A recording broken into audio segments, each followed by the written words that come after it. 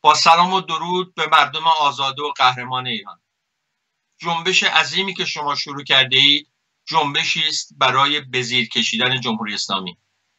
شما این, این, این شرایط رو دیگه نمی‌تونید تحمل کنید. فقر بیکاری گرانی بیحقوقی سرکوب. شما به خیابان اومدید از جلب کردید که بگید دیگه بسه. این شرایط باید تغییر کنه. این یک انقلاب هست یک انقلاب عظیم که در ده ها شهر الان نزدیک یک هفته است به پیش میره و همچنان با قدرت ادامه داره. ما باید راه های پیشروی و تقویت و در نهایت به پیروزی رسیدن این جنبش انقلابی رو بدونیم روشن کنیم متحد آگاهانه همبسته قدم در راه بگذاریم و این انقلاب رو به فرجام برسونیم. تا امروز جنبش اساسا شکل تظاهرات ها و جنگ و گریز خیابانی رو در روزهای آخر به خودش گرفته. این مبارزه با خواستای اقتصادی شما با خواستای معیشتی شما شروع شد. با شعارهای مثل مرگ برگرانی علیه دزدان و فاسدین و حاکم با شعار مرگ بر بیکاری و غیره.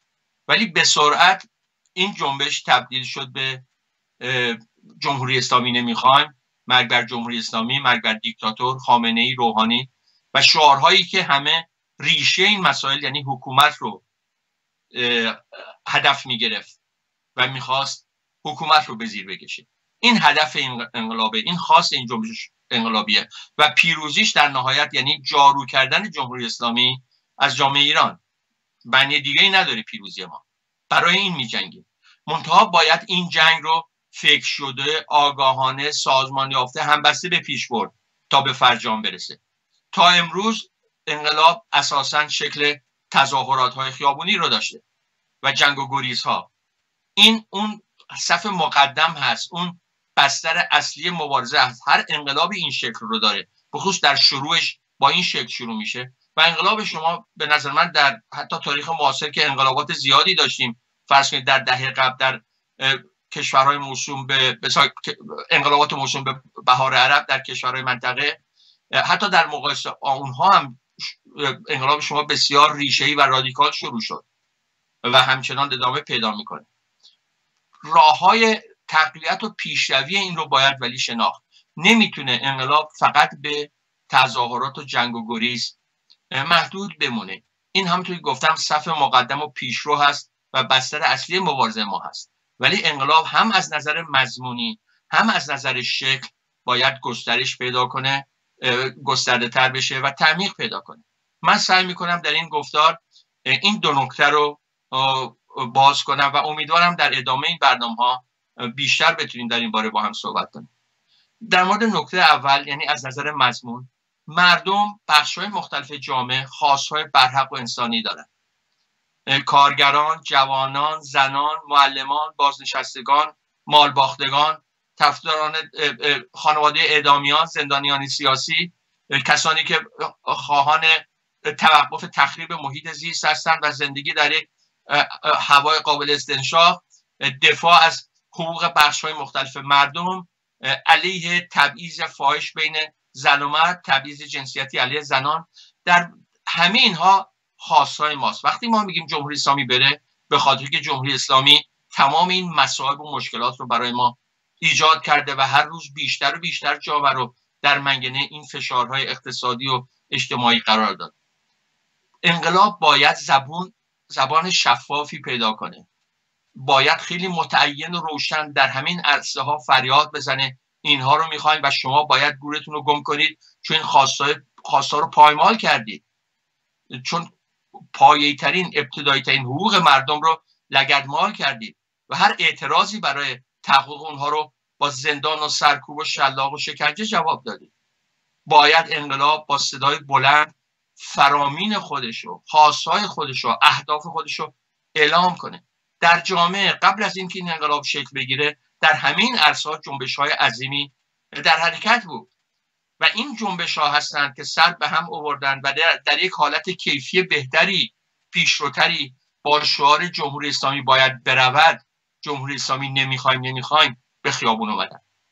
این جنبش ها در جامعه بودن فعال بودن اعتراض می‌کردن خواستهاشون رو بارها و بارها از زبانهای مختلف در بیانی ها اطلاعی ها فراخان ها اعلام کردن و امروز روزی است که اینها جلو بیان و این خواست ها رو بلند کنن و تبدیل کنن به پرچم انقلاب باید معلوم بشه جمهوری اسلامی باید بره چون کارگران رو به زندگی پنج بار زیر خط فقر رونده. اکثرت عظیم جامعه رو فقر و فلاکت رو برای حاکم کرده. دستمزد کارگران رو پنج ماه پنج ماه نمیده.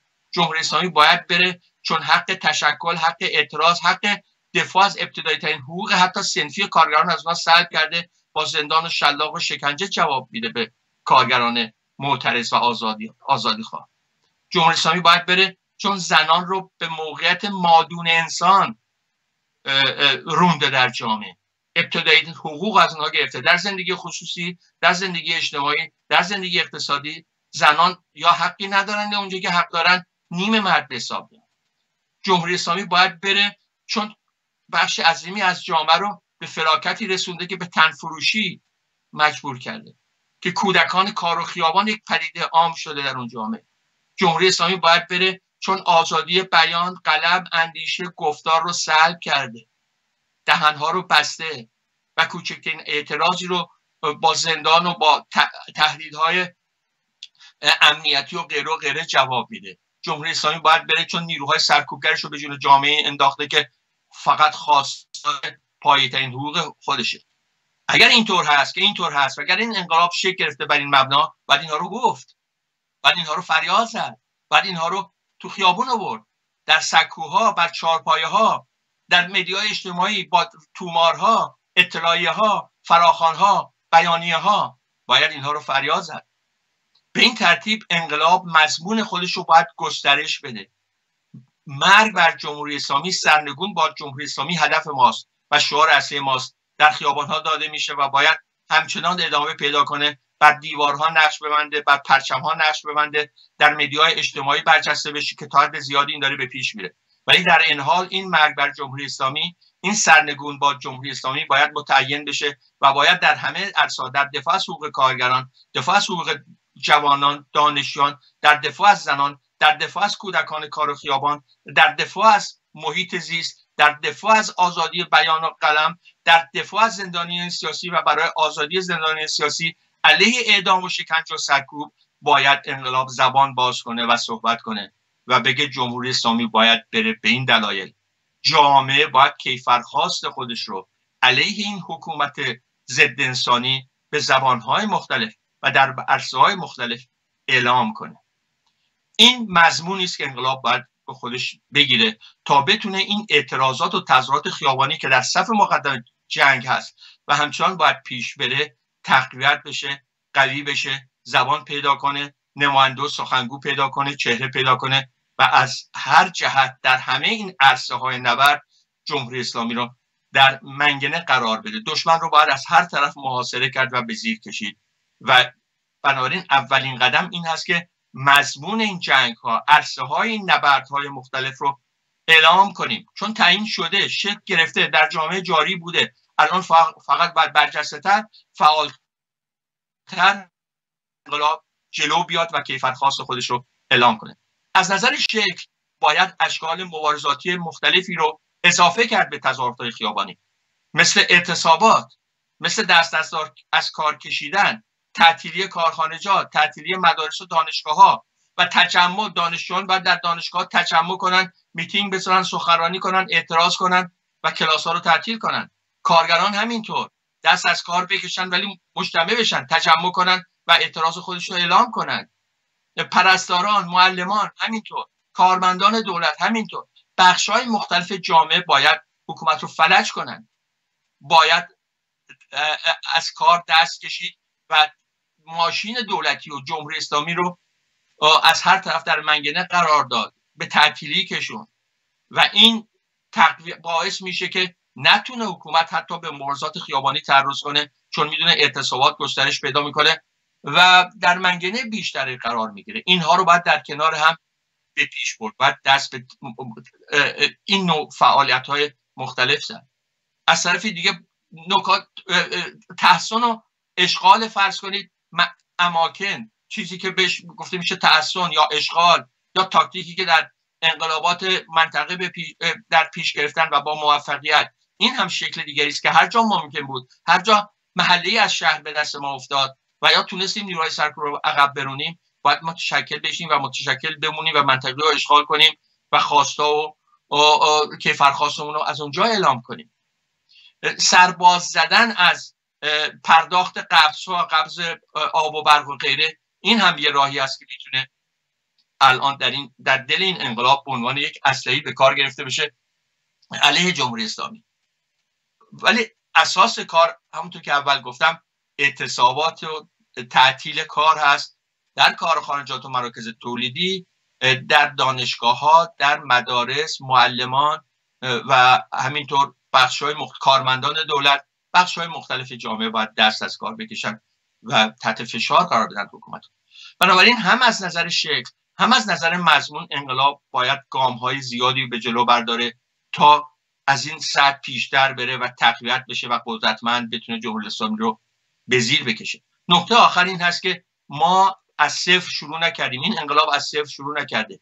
جنبش هایی که گفتم در رسای مختلف اینها نهادها کانونها انجمنها کمیته ها انواع اقسام تشکل ها فعالین چهره های شناخته شده ای دارن. صدها و صدها انجیو و کانون و کمیته و انجمن و غیره هست که باید اینها جلو بیان و اینها سرمایه‌ای هستند اینها در واقع تدارک اجتماعی بودند که در شرایطی که جامعه هنوز وارد این تلاطم عظیم طوفان نشده بود ما داشتیم به نوعی تدارک می‌دیدیم برای چنین روزهایی. بنابراین تمام اون چهرهای سرشناس در جنبش کارگری در جنبش علیه اعدام در جنبش جنبش معلمان جنبش بازنشستگان در جنبش مالباختگان در جنبش دفاع از حقوق کودک در جنبش محیط زیست و غیره جلو اومدن شناخته شدن بیانیه فراخان و اطلاعی و غیره صادر کردن در دورهای قبل.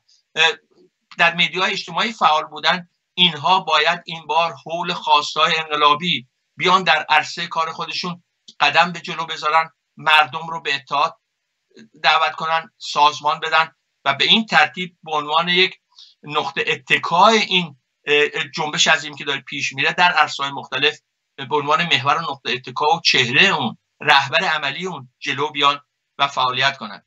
من دیدم که اخیرا 28 اگر اشتباه نکنم 20 خورده فکر کنم 28 تشکل کارگری نهاد و کمیته کارگری اطلاعیه مشترکی دادن و خواستای پاییشون رو اعلام کردن و این یک مدل و نمونه خیلی برجسته است. کانون نویسندگان هم دیدم چه این کاری کرده. این باید گسترش پیدا کنه.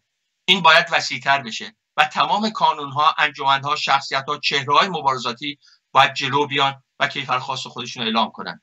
به جمهوری اسلامی باید گفت باید بری باید گورتو گم کنی باید به زیر کشیده بشی و در نبرد افسای نبرد مختلف باید این بایدها رو تعریف کرد حولش نیرو جمع کرد که چرا باید اینطور بشه.